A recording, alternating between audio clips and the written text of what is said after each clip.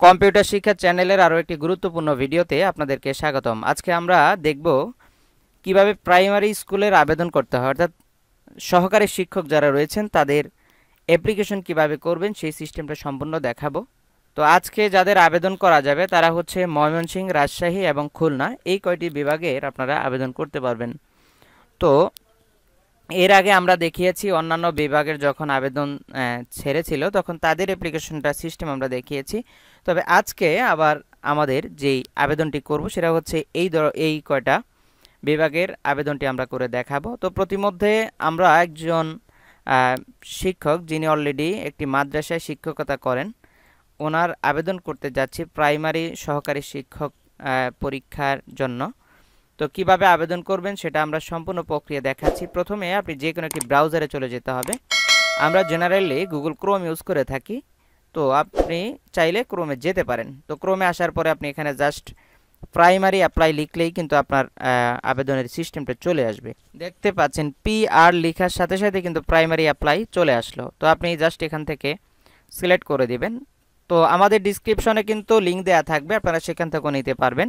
এখানে রয়েছে director of primary education DPE powered by Teletalk তো এখানে আপনার এই লিঙ্কে চলে যাবেন। এখানে আসার পরে আপনার কাছ থেকে এরকম যদি কিছু চায়, তাহলে আপনি কন্টিনিউ টু সাইট দিয়ে দেবেন। আর যদি না চায়, তাহলে আপনাকে সরাসরি ওয়েবসাইটে নিয়ে যাবে। তো আমরা ওয়েবসাইটে চলে আসলাম। ওয়েবসাইটে আসার পরে ডাইরেক্টর অফ প্রাইমারি এডুকেশন আপনারা দেখতে পাচ্ছেন। তো এখানে রয়েছে অনলাইন অ্যাপ্লিকেশন তো সর্বশেষ আপনারা দেখতে পাচ্ছেন যে অ্যাপ্লিকেশন ফর্ম আপনি অ্যাপ্লিকেশন ফর্মটা এখান থেকে ক্লিক করে প্রবেশ করতে হবে। তো আমরা এখান থেকে অ্যাপ্লিকেশন ফর্ম অপশনে ক্লিক করে দেব। দেওয়ার পরে আপনারা দেখতে পাচ্ছেন যে এখানে রয়েছে অ্যাসিস্ট্যান্ট টিচার সহকারী শিক্ষক, রাজশাহী, খুলনা, ময়মনসিংহ।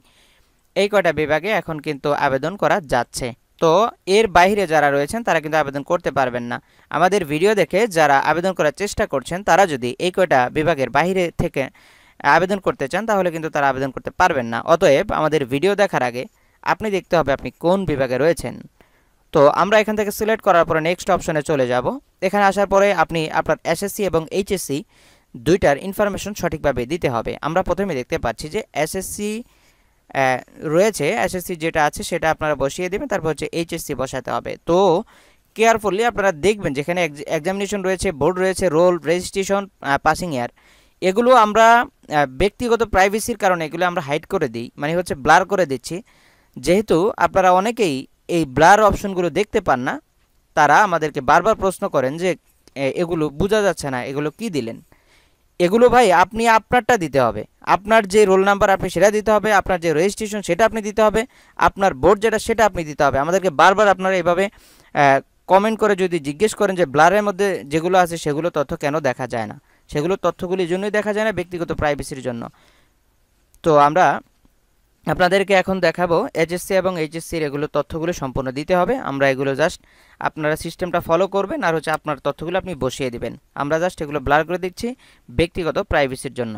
সকল তথ্যগুলো সঠিকভাবে বসিয়ে দেওয়ার পরে আপনাকে অবশ্যই নেক্সট অপশনে ক্লিক করতে হবে। আমরা নেক্সট অপশনে চলে আসলাম। নেক্সট অপশনে আসার পরে আমরা এখানে যে তথ্যগুলো দেখতে পাচ্ছি, সম্পূর্ণ তথ্যগুলো আপনার যেই ক্যান্ডিডেট আপনি যার আবেদন করছেন, আপনি যদি আপনার নিজের আবেদন করে থাকেন, তাহলে আপনার সকল ইংরেজি তথ্যগুলো তারা বের করে নেবে। আপনার এসএসসি এবং এইচএসসি দুইটা সার্টিফিকেট অনুযায়ী আপনার নেমগুলো এখানে বের হয়ে যাবে অটোমেটিকলি তারা নিয়ে নেবে। তো এখানে বিষয় হচ্ছে আমরা ইংলিশ নামগুলো দেখতে পাচ্ছি, বাংলা যে নামগুলো রয়েছে সেগুলো কিন্তু আমরা আমাদের মতো করে বসিয়ে দিতে হবে। মানে হচ্ছে আপনার বাংলা নামগুলো সকল নাম, বাবার নাম, পিতার নাম, মাতার নাম যা আছে, ঠিকানা সহ সব কিছু আপনাকে লিখে দিতে হবে। তো আমরা সাধারণত এটা ইউনিকোড দিয়ে লিখে থাকি। তো আপনারা চাইলে ইউনিকোড দিয়েও লিখতে পারেন অথবা এটাকে অব্র দিয়েও লেখা যায়। আমরা এখন ইউনিকোড ব্যবহার করে তথ্যগুলো পূরণ করে দিব। সঙ্গে থাকতে হবে। বাবা মায়ের নামটা আপনারা এখান থেকে বসিয়ে দেবেন, তারপরে হচ্ছে ন্যাশনালিটি দিয়ে দেবেন, এরপর হচ্ছে রিলিজনটা সিলেক্ট করতে হবে। জেন্ডার এটা অটোমেটিকলি সিলেক্ট করা থাকে আপনার সার্টিফিকেট অনুযায়ী। তারপরে হচ্ছে ন্যাশনাল আইডি আপনি ন্যাশনাল আইডি কার্ডের যে নাম্বার সেই নাম্বারটি এখানে বসিয়ে দিতে হবে। জাতীয় পরিচয়পত্রের এখানে আমরা ইয়েস দিয়ে নাম্বারটি বসিয়ে দিলাম। তারপর হচ্ছে বার্থ রেজিস্ট্রেশন যদি আপনারা দিতে চান ইউজ ইয়েস দেবেন, আর যদি না দিতে চান, না দিলেও কোনো সমস্যা নাই। এটা হচ্ছে ঐচ্ছিক। আপনি চাইলে দিতে পারবেন, না চাইলে না। এরপর হচ্ছে আপনার পাসপোর্ট আইডি যদি থাকে, আপনি দিতে পারেন, আর যদি না চান, তাহলে কোনো প্রবলেম নাই। ম্যারিটাল স্ট্যাটাস দিতে হবে, অবশ্যই এটা দিয়ে দিতে হবে। ম্যারিটাল স্ট্যাটাস দেওয়ার পরে আপনি পুরুষ হলে ওয়াইফের নাম দিতে হবে। আর যদি আপনি মেয়ে হন অর্থাৎ মহিলা হন, তাহলে আপনাকে হাজব্যান্ডের নাম দিতে হবে। স্পোজ নেম এখানে বসাতে হবে। তবে এটা ইংলিশে বসাতে হবে। ম্যারিটাল স্ট্যাটাস বসানোর পরে ম্যারিটাল স্ট্যাটাস বসানোর পরে আপনি এখান থেকে স্পোজ নেম দিয়ে দেবেন। এরপর হচ্ছে আপনার ফোন নাম্বারটি আপনি এখান থেকে বসাতে হবে। ফোন নাম্বারটি দুইবার বসাইতে হবে। একবার হচ্ছে প্রথমে তুলবেন, তারপর হচ্ছে কনফার্ম ফোন নাম্বার হিসাবে দিতে হবে। তো এরপরে হচ্ছে আপনার ইমেল অ্যাড্রেসটা আপনি এখান থেকে বসিয়ে দিতে হবে।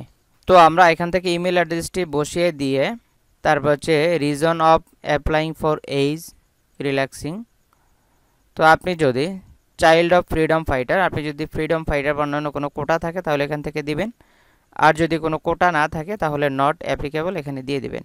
তো নট অ্যাপ্লিকেবল দেওয়ার পরে স্পেশাল কোটা যদি থাকে, আপনার কোনো স্পেশাল কোটা থাকলে সেটা দিয়ে দিবেন। ইয়েস দিয়ে তথ্যগুলো দিয়ে দিবেন। আর যদি না থাকে তাহলে এখান থেকে নো অপশন ক্লিক করে দেবেন। এরপরে হচ্ছে আমাদের প্রেজেন্ট অ্যাড্রেস এবং বর্তমান অ্যাড্রেস এই দুইটা অ্যাড্রেস সঠিকভাবে বসাইতে হবে। আমরা জাস্ট এখান থেকে অ্যাড্রেসটা বসিয়ে দেব। তার আগে এখান থেকে কেয়ার অফ দিতে হবে। কেয়ার অফ সাধারণত বাবার নাম দেওয়া হয়। আপনার গার্ডিয়ান হিসেবে যে থাকবে, আপনি তাকেই দিতে পারবেন, কোনো প্রবলেম নাই। আপনার বাবা বেঁচে না থাকলে, আপনার গার্ডিয়ান লেভেলে যে থাকবে, অর্থাৎ আপনার, আপনাকে নিয়ন্ত্রণ করার মতো কেউ থাকলে তার ঠিকানা বা তার নামটা দিয়ে দেবেন। তারপর হচ্ছে আপনি প্রেজেন্ট এবং পারমানেন্ট অ্যাড্রেস দুটি অ্যাড্রেস এখানে সুন্দরভাবে বসাইতে হবে। তো আমরা এখান থেকে গ্রামের নামটি বসিয়ে দিলাম। ভিলেজ বসিয়ে দেওয়ার পরে হচ্ছে আপনার ডিস্ট্রিক্টটা দিতে হবে এখান থেকে। ডিস্ট্রিক্ট বসিয়ে দেবেন। তারপরে হচ্ছে আপনার উপজেলা যেটা সেটা বসিয়ে দিতে হবে। এরপর হচ্ছে আপনার পোস্ট অফিসের নামটি এখানে লিখে দিতে হবে। তো এখান থেকে আমরা ডিস্ট্রিক্ট উপজেলা পোস্ট অফিসের নাম, তারপর হচ্ছে পোস্ট কোড এগুলো লিখে সম্পন্ন করে দেব। দেওয়ার পরে হচ্ছে আপনি এখান থেকে যদি প্রেজেন্ট এবং পারমানেন্ট অ্যাড্রেস আপনার সেম হয়, তাহলে আপনি এখান থেকে জাস্ট টিক চিহ্নটা দিয়ে চেক মার্ক করে দিবেন। দেওয়ার পরে আপনারা চলে যাবেন একটু নিচের দিকে চলে আসতে হবে। আমরা এখান থেকে আসার পরে গ্র্যাজুয়েশন লেভেল গ্র্যাজুয়েশন লেভেলের যে তথ্যগুলো, সেগুলো এখান থেকে বসাইতে হবে। তো আমরা এখান থেকে গ্র্যাজুয়েশন নেম এক্সামিনেশন নেম হচ্ছে অনার্স তারপরে দিয়ে দিলাম ইউনিভার্সিটি যেটা, সেটা সিলেক্ট করবেন। কত সনে পাস করেছেন পাসিং ইয়ার সেটা দিয়ে দিবেন। তারপরে হচ্ছে সাবজেক্ট অফ ডিগ্রি কোন সাবজেক্টে আপনি অনার্স করেছেন সেই সাবজেক্ট বসিয়ে দিতে হবে। এরপর হচ্ছে আপনার রেজাল্ট রেজাল্ট টুয়েন্ট ক্লাস অথবা সেকেন্ড ক্লাস যেটা হয় সেটা দিবেন। আর যদি আউট অফ ফাইভ হয় আউট অফ ফাইভ হয় না, অনার্সের ক্ষেত্রে আউট অফ ফোর হয়, তো আপনারা সেখান থেকে আউট অফ ফোর দিয়ে দেবেন। তারপর হচ্ছে কোর্স ডুয়ারেশন দিবেন। কত বছর আপনি সেটা গ্র্যাজুয়েশন কমপ্লিট করেছেন সেখান থেকে বছরটা দিয়ে দিতে হবে। তো এরপরে হচ্ছে আপনারা দেখতে পাচ্ছেন যে মাস্টার্স ইকুইপমেন্ট লেভেল যদি থাকে তাহলে সেটা দিবেন। আর যদি না থাকে তাহলে এটা ইগনোর করে যাবেন, এটাতে কোনো কিছু করার প্রয়োজন নেই, এটাতে হাত দেওয়ার প্রয়োজন হবে না। এরপরে হচ্ছে আমরা চলে যাব ভেরিফিকেশন কোড একটি কোড দেবে। এই ভেরিফিকেশন কোডটি আমরা এই এখানে থাকা যে কোড নাম্বারটি, সেই নাম্বারটি আমরা পাশে থাকা খালি বক্সে উঠিয়ে দিতে হবে। তবে আপনি যদি এই লেখাটি না বুঝেন, তাহলে এখানে ক্লিক হেয়ার এখানে ক্লিক দেবেন। এখানে ক্লিক দিলে আপনার এই কোডটি চেঞ্জ হবে। চেঞ্জ হওয়ার পরে যে কোডটি আসবে, আপনি যে কোডটি বুঝতে পারেন সহজে, সেই কোডটি আপনি এখানে বসিয়ে দিতে হবে। আমরা এখান থেকে কোডটি বসিয়ে দিব। সকল তথ্যগুলো উঠিয়ে দেওয়ার পরে আমরা এখান থেকে ভেরিফিকেশন কোডটি বসিয়ে দেয়া, দিব। এটা সঠিকভাবে বসাতে হবে, আর না হলে কিন্তু আপনার সম্পূর্ণ তথ্য পুনরায় আবার লিখতে হবে। এজন্য খুব কেয়ারফুললি এই ক্যাপচা কোডটি উঠাবেন। এটি উঠানোর পর আমরা এখান থেকে চেক মার্ক করে সাবমিট অপশনে ক্লিক করে দিব। সাবমিট অপশনে ক্লিক করে দেওয়ার সাথে সাথে কিন্তু আমাদেরকে আমাদের যেই সমস্ত তথ্যগুলো রয়েছে, সেগুলো কিন্তু এখানে সম্পূর্ণ দেখাবে।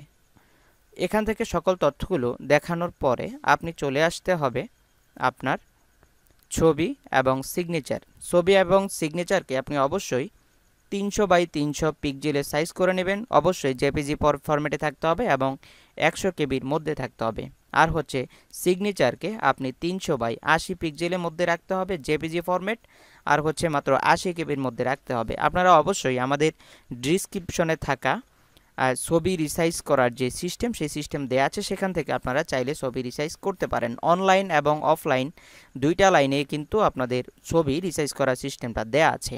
অবশ্যই আপনারা নিজেদের মতো করে পিকচারটি সাইজ করে নেবেন। তো আমরা এখন থেকে আমাদের পিকচারটি যেহেতু সাইজ করা রয়েছে, আমরা সেখান থেকে জাস্ট চুজ ফাইল অপশনে ক্লিক করব। চুজ ফাইল অপশনে ক্লিক করার সাথে সাথে যেখানে আপনার পিকচারটি রয়েছে, সেই জায়গা থেকে আপনি পিকচারটি সিলেক্ট করে দিবেন। ব্যক্তিগত প্রাইভেসির জন্য আমরা কিন্তু পিকচারগুলো এবং সিগনেচারগুলো ব্লার করে দিচ্ছি। চুজ ফাইল অপশনে ক্লিক দেব, দেওয়ার পরে সিগনেচারটিও আমরা এখান থেকে আপলোড করে দেব। আপনার যদি পিকচার এবং সিগনেচারের সাইজ সঠিক থাকে, তাহলে আপনাকে এই জায়গাটাতে পিকচারটি শো করবে এবং সিগনেচারটিও শো করবে। সব তথ্য দেখে শুনে আপনি এখান থেকে পুনরায় চেক মার্ক করবেন। ওনাদের এগ্রিমেন্টে আপনি যে রাজি, সেটার সম্মতি দিয়ে আপনি এখানে চেক মার্ক করে দিয়ে সাবমিট অপশনে ক্লিক করে দিবেন। সাবমিট অপশনে ক্লিক করে দেওয়ার সাথে সাথে এখানে এখানে দেখতে পাচ্ছেন যে অ্যাপ্লিক্যান্টস কপি আনপেইড অর্থাৎ এই আনপেইড শব্দটাকে আপনাকে পেইড তৈরি করতে হবে। মানে হচ্ছে আপনি অ্যাপ্লিকেশনটি করা শেষ হলে আপনাকে অবশ্যই টাকা পেমেন্ট করতে হবে। টাকা পেমেন্ট করার পরে কিন্তু আপনাকে পেইড অপশন দেখাবে। তো আপনারা যারা আবেদন করবেন, আপনারা পেইড অ্যাপ্লিকেশন কপিটা নিয়ে তারপরে বাসায় ফিরবেন। যদি আপনার টাকা সঠিকভাবে জমা না হয়, তাহলে আপনার চাকরির অ্যাপ্লিকেশনটি হয়নি, এটা ধরে নিতে হবে। টাকা জমা দেওয়ার পরে এই জায়গাটাতে পেইড লেখা আসবে। পেইড লেখার যে আপনার তথ্য, সেটাও কিন্তু আমরা এখন একেবারে সম্পূর্ণ দেখিয়ে দিব। অবশ্যই থাকতে হবে আমাদের সঙ্গে। তো আমরা মোবাইল অপশনে চলে যাব। মোবাইল অপশন থেকে পেমেন্ট করব। পেমেন্ট করার পরেই কিন্তু আমরা আপনাদেরকে দেখাবো কীভাবে পেইড আপনার তথ্যগুলো বের করা যায়। অর্থাৎ পেইড নামক যে অ্যাপ্লিক্যান্ট কপি সেটা কীভাবে বের করতে হয় সেই সিস্টেমটা আমরা একটু পরেই দেখিয়ে দিচ্ছি। ফিরছি মোবাইল থেকে টাকা জমা দেওয়ার পরে।